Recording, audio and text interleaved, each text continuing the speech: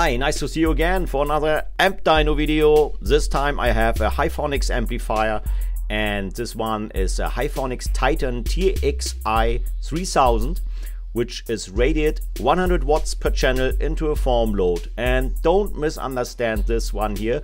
Um, on the plate it says 175 watts, but I checked it out and it's a 2 ohms rating. This video is also user supported. Thank you very much for sending amplifiers.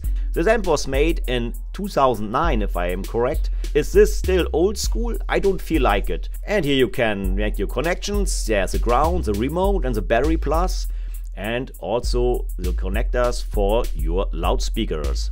And here we have the fuse. I don't know if you can see this correctly. There are two fuses inside with 25 amps each, so the amp is fused with 50 amps. Here you have your line inputs and you also have line outputs. And there's a remote jack for a bass knob. You have a switch for full frequency spectrum, high pass or low pass or band pass. You have your level input and the input sensitivity ranges from 0.2 to 6 volts. And you have a bass boost, but I don't know at which frequency, but it gives you a boost at 12 dB. I guess 45 Hz, I don't know. You have a low pass filter, um, 30 Hz to 150 Hz, and the high pass filter from 10 Hz to 1.2 kHz. And now let's see what this Hifonics amplifier can deliver on the dyno. I start with 8 ohms mono bridge to the amplifier. That means I am testing for output power into a form load per channel, both channels driven. The first test is continuous power with 1 kilohertz.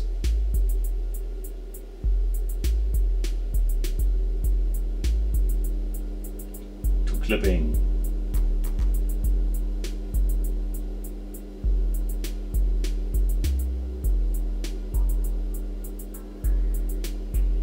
That's okay. I got an output voltage of 58.4 volts. With 58.4 volts, the amplifier delivers around 109 watts into a form load per channel, both channels driven, with 1 kHz. Now let's jump to 50 Hz.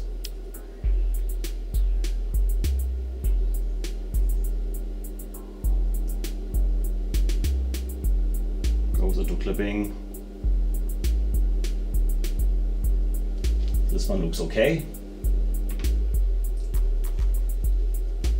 And the amplifier delivers a voltage of 56 volts. With 50 Hz, the amplifier delivers 100.5 watts of continuous power into a form load per channel, both channels driven into full power.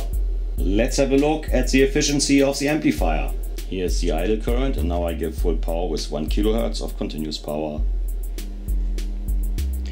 The amplifier pulls 25.1 amps. The amplifier's efficiency is 63.4%. Dynamic power 1 kHz 20 cycles. We have all cycles at the same voltage level. The first one says 60.8 volts. I check the last one if it's clipped or lower.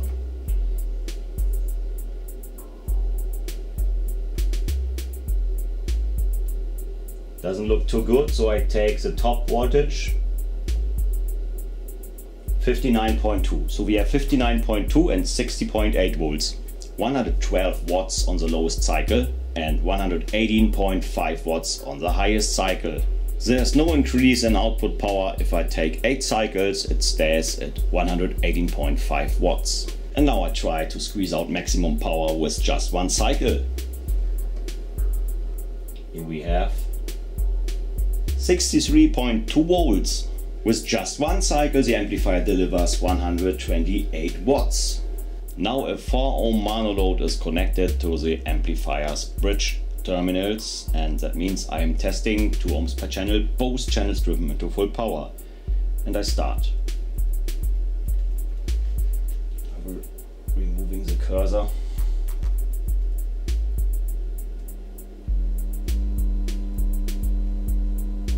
Adjusting it. Maybe it gets a little higher. Oh, it gets dirty.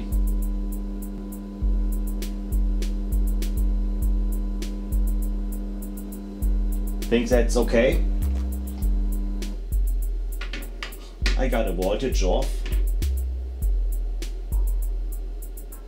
51.6 volts. The amplifier delivers 170.7 watts into a 2 ohm load per channel, both channels driven into full power. So it reaches almost its rated output power, but I don't know if the rated output power by the manufacturer was measured at 14.4 volts or like I do 13.7 volts. Let's have a look at the amplifier's power consumption. 42.7 amps.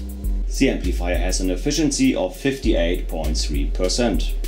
Now I'm testing the amplifier's output power into a 2 ohm load with a 50 Hz input signal.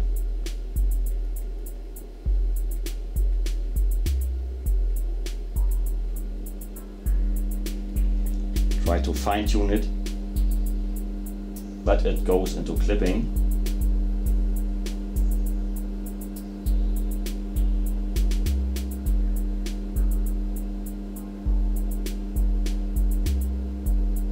Looks okay for me. And the amplifier delivers a voltage of 50 volts. With a 50 Hz input signal, the amplifier delivers 160.3 watts into a 2 ohm load per channel, both channels driven into full power. Dynamic power test, 20 cycles, 1 kilohertz. All cycles are at the same voltage level. First cycle has an output voltage of 52.4 volts.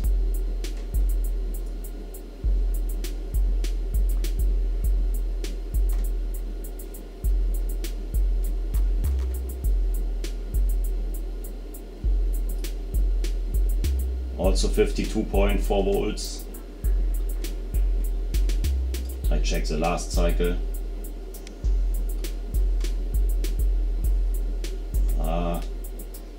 They don't look too good. Okay, let's say 52 volts. On the lowest cycle, the amplifier delivers 173.4 watts and on the highest cycle, the amp delivers 176 watts of dynamic power with 1 kHz and 20 cycles. Now I'm testing with 8 milliseconds. First cycle 52.8 volts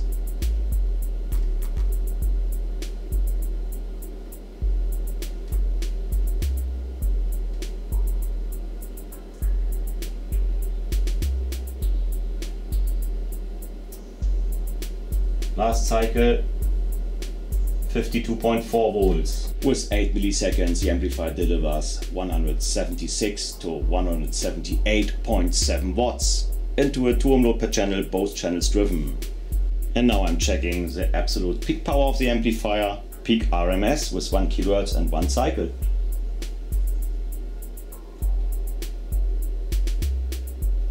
So I got a peak voltage of 59.2 volts.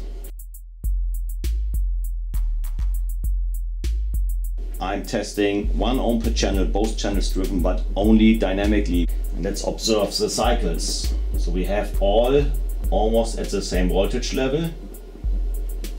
Got a peak voltage of 42.8 volts. I go to the last cycle.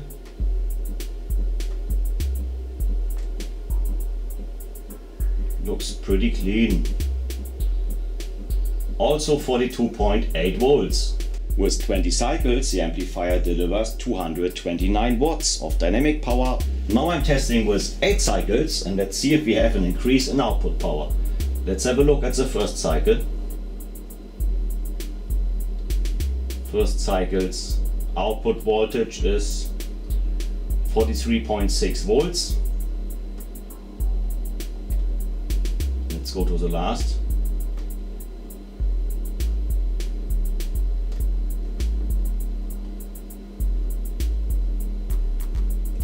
Forty-two point eight volts. Now I'm testing for maximum output power with just one cycle. Don't get me wrong, I don't recommend using the amplifier 2 ohms mono. That means 1 ohm per channel. It's just for testing and I check if the amplifier is going into protection, but it doesn't so far. There we have the cycle. I crank up the volume until I have clipping. Oh, it grows up. Oh, that looks dirty. I'm still reducing until I got something like a cycle. It looks very dirty, but this comes close to a cycle. So I take this one just for fun. It's everything at Turms Mono here is just for fun. And I have 51.2 volts.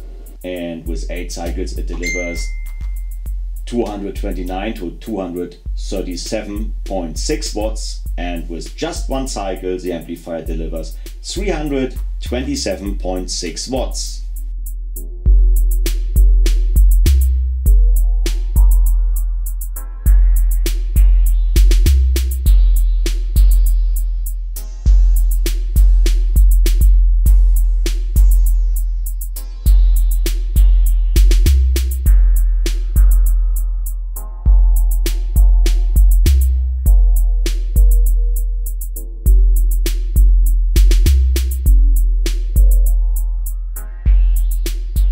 let's check out how this amplifier sounds.